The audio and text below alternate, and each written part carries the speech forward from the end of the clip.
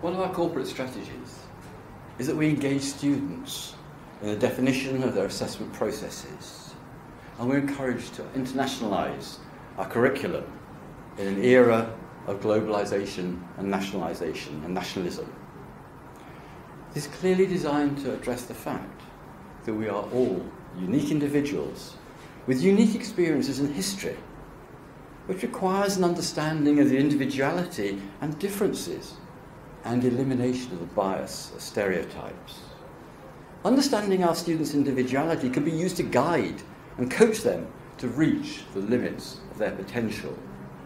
This present presentation and discussion will explore how this connects with a dialogue of diversity in the context of some resistance to allow such recognition, which may possibly be based on the assumption of stereotypes in a perceiver's eyes.